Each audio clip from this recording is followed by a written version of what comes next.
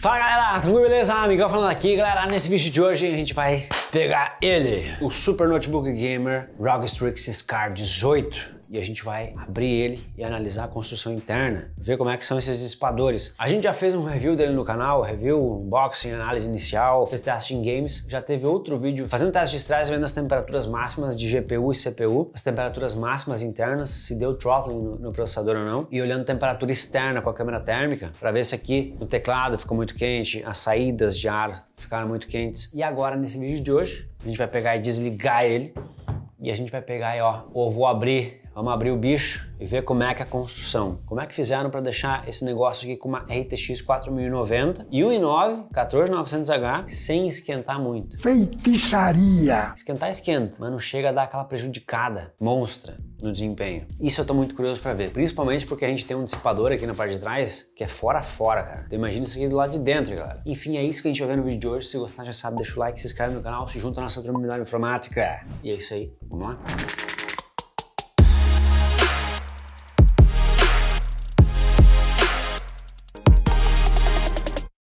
Muito bem, galera. Aquele golinho de café. Hum. Ai. E vamos lá então. Mantinha na mesa é para ser manta anti-estática, mas eu acabei de puxar ela e deu uns estralos de estática. Vai entender. Pior, pior que tá dando estática mesmo, cara. Tá puxando tudo meus cabelos aqui. Eles não vão ver. Caramba, meu. Vou botar isso aqui na parede. Descarreguei. Encostei ela ali na, na estante aqui, ó. Descarreguei. É verdade? Pra quem não acredita, é verdade. Tá, vamos começar a abrir o bicho. Tá desligado já. Bateria dele interna. Vou ter que abrir aqui toda a carcaça embaixo. E eu acho que não vai ser o bicho para abrir. Enfim, vou trazer vocês mais para perto agora. Deu bem certinho o tamanho do notebook com a minha meu suporte aqui, a minha manta. São vários parafusos Phillips.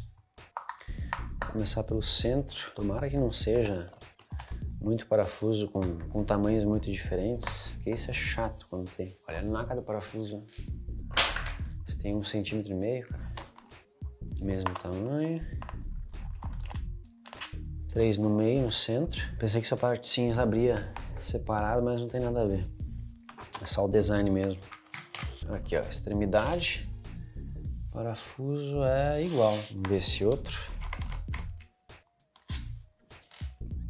Igual também. Bom ter um padrão. Que provavelmente não vai ser igual, vão ser esses últimos aqui, porque a espessura do notebook aqui é mais fino. É, isso aí mesmo. Só esses dessa linha aqui de baixo vão ser parafusos mais curtos. Não só mais curto, como o diâmetro também é inferior. Aí tem diferença, os dois no meio e o, o externo aqui da borda. Não, não tem. É só especificadamente esse parafuso aqui é o único diferente desses aqui. Tem que ficar ligado. Bem, vamos lá. Tem que analisar aqui a construção em cima para ver como é que eu posso fazer a abertura. Teclado embutido, ó galera, isso aqui é bom ficar de olho, tá? Quer dizer que eu não preciso tirar o teclado agora aqui em cima para continuar abrindo o notebook. É só tocar a ficha aqui mesmo. E vai ter que ser na base da pressão. Vou fazer uma forcinha aqui. Esse plástico é bem duro. Quando tem uma trava plástica, o negócio é, é grosso. É rude. Não vamos pensar besteira, né, cara? Isso que me falta. Não se pensa nada de mal para a vida de ninguém. É uma travinha plástica. Beleza. Aqui tá ficando meio chato. Notebook desse calibre aí sempre dá uma aflição na hora de abrir, não adianta.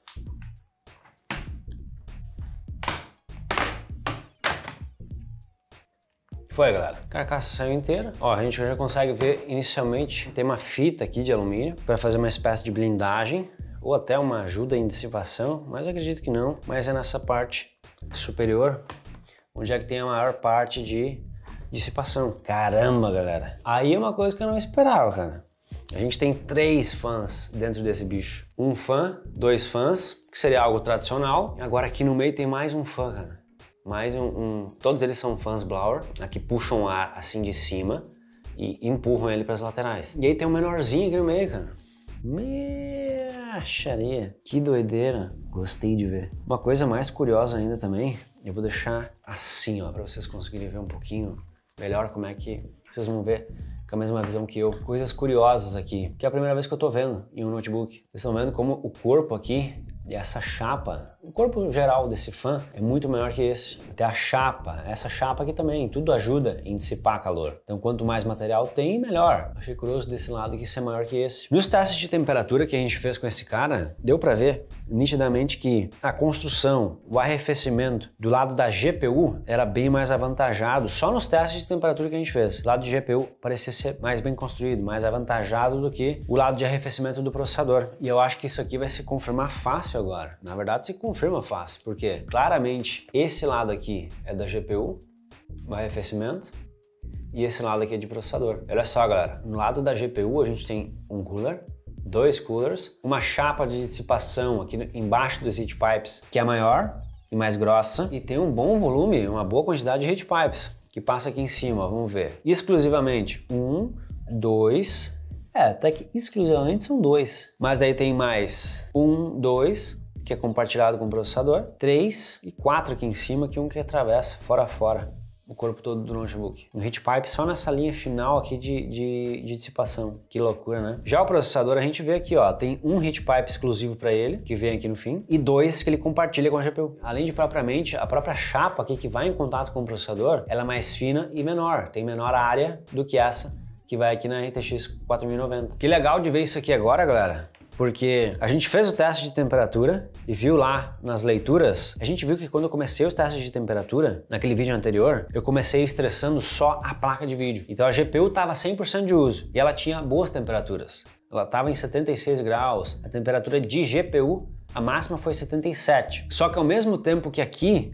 só a GPU estava em 100% de uso, a 77 graus Celsius, o processador estava com 11% de uso. Só para acompanhar aquele teste, eu não estava estressando o processador ainda, então ele estava com uso baixo, cotidiano, de 11, 14%, só que ele estava pegando 95 graus Celsius. Chegou até a bater 100 graus. E a gente ficou até assim, né? Ué, mas por quê? Não tem lógica. Eu não estou nem estressando ele, como é que ele está mais quente que a GPU? Bem, isso aqui começa a fazer um pouco mais de sentido olhando agora, né? Como que é, é construído. A GPU tem dois fãs específicos para ela. Então tem um cara aqui para fazer um fluxo de vento aqui, ó, diretamente aqui, além desse para soprar os, dissipadores na saída. Mas esse menorzinho aqui, a função específica dele é para passar reto aqui no GPU e vir para fora o vento dele. E aí a GPU tinha esse, esse, esse arrefecimento exclusivo de airflow passando nessa linha, isso aqui não vai fazer uma curva. Quer dizer, até pode fazer, mas a tendência é que venha para cá e faça a saída. Então estava resfriando a GPU, só que a GPU esquentava e ela compartilha dois heat pipes com o processador. Então esquentava a GPU, esse calor ele ia para esses heat pipes, todos eles. Como dois são compartilhados, vinha o calor aqui em cima do processador também. De tabela, como eu falei no, no vídeo de, de teste de aquecimento. Aí o processador tem o heat pipe exclusivo dele, que chega aqui no, na, nas aletas de alumínio para dissipar. Tem o cooler dele, que tem uma região maior, mas que não dá tanta conta quanto esse circuito aqui, essa construção aqui. Porque o dissipador é mais fino, tem menor área. Já tem lá embaixo o dissipador base que encosta no processador já é menor, então já vai espalhar mais diretamente para o heat pipe. Heat pipe vai trocar calor, só que não parece ser tão suficiente isso. Se a gente tivesse mais um cooler exclusivo, se fosse meio que quase espelhado, né? Claro que daí tem que ocuparia mais espaço, né? Tivesse isso aqui também aqui no processador, com certeza iria resolver, talvez não 100%, mas iria melhorar muito essa questão da temperatura que foi maior no processador e deu CPU throttling, ainda que foi bem pequenininho CPU throttling. Aquela limitação do processador foi, foi 2% que deu no nosso teste. Mas gostei de ver agora. Esse aqui eu não esperava mesmo, tá? Esse do, do, do cooler aqui. E vou resumir com duas palavras. Parabéns! O que, que a gente mais tem aqui? Aproveitando já que a gente abriu, eu queria focar mais no arrefecimento, porque é uma coisa que me interessa bastante. A gente tem 32 GB de, de RAM, DDR5 aqui, de 5600 MHz, Dual Channel. Se tratando de DDR5 é um Quad Channel, mas funciona como um Dual Channel DDR4. Não vou entrar em tantos detalhes. Tem dois módulos de memória, duas vezes 16 GB, e tem dois módulos para fazer upgrade, né? Não tem memória RAM soldada na placa, isso é um ponto bem positivo, muito, muito bom mesmo. E dá para mudar isso aqui, o cara não tá preso com memória soldada na placa-mãe. A gente tem dois slots de NVMe e esse notebook ele vem com dois SSDs NVMe de 1 terabyte de armazenamento e eles já vêm pré-configurados em RAID 0. Esse RAID 0 faz com que o sistema use os dois simultaneamente para gravar arquivos e some também as capacidades. Então vai ser 2 TB de armazenamento, ah vá, E isso continua igual, só que o sistema usa esses dois SSDs em simultâneo. O sistema faz a gravação de arquivos em simultâneo. Por exemplo, se eu quero gravar um vídeo, salvar um vídeo, vai gravar metade do vídeo num e metade do vídeo no outro. Dando um exemplo mais palpável. Isso faz com que a gente ganhe performance. É, os dois SSDs podem trabalhar com a máxima velocidade deles em simultâneo. Então somam-se velocidades. A desvantagem disso aqui é que se eu corromper algum arquivo num, no SSD 1, o do SSD2 também vai ficar inviável, vai ficar inválido. Então, se estragar um SSD aqui, eu vou perder o que eu tenho no 2 aqui. Esse é um ponto que, que a gente fica, né, com o pé atrás. Claro, não é uma coisa que vai acontecer do dia para noite, mas, por exemplo, para usar se fosse em um servidor, é, esse aqui não é o sistema de RAID utilizado profissionalmente, por conta dessas falhas né, que, que, podem ocorrer. Bem, aqui embaixo a gente consegue ver os falantes também, dá bastante destaque, são bem grandes, tem uma potência boa. A bateria também é, é bacana a capacidade dela, tá galera? É uma bateria de 90 watts-hora.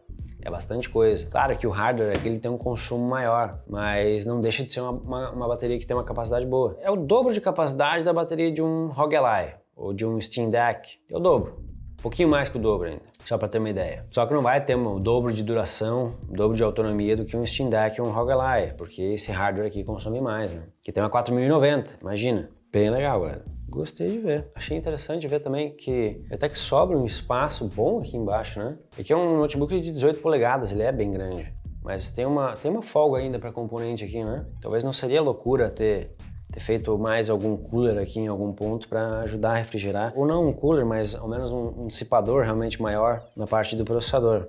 Ia deixar o negócio quase que as mil maravilhas. Aqui também, né, a gente tem essa placa auxiliar que tem duas portas USB-A. A gente vê que até sobra um espaço legal, poderia ter mais alguma porta USB, algo a mais, né? Ele tem um total de quatro portas USB, dois USB-A e dois USB-C. Para um notebook desse, dessa faixa de preço, desse nível aí, parece que é até pouco, né?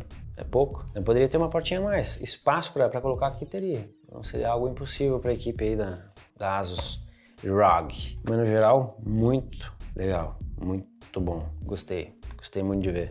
Esses três fãs aí me conquistou, cara. E esse, galera, é o tal do ROG Strix Scar 18 por dentro, cara. Monstruoso. Gostei muito. Sistema de arrefecimento, principalmente da GPU, nota 10. Muito bom. Tanto é que ela ficou em teste de estresse. Imagina uma GPU aqui dentro, consumindo 175 watts. 7, 10 minutos, blá blá blá. Com máxima de 77 graus Celsius. Vou reclamar do quê?